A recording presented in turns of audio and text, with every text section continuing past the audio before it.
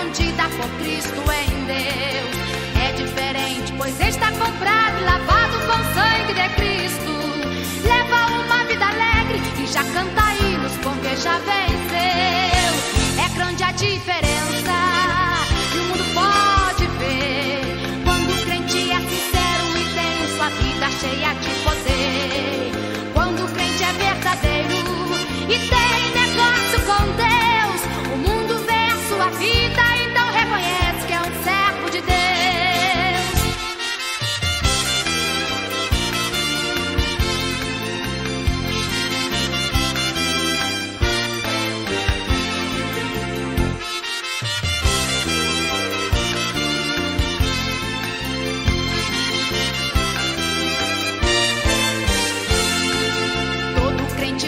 candeeiro carrega consigo o bom cheiro de Cristo.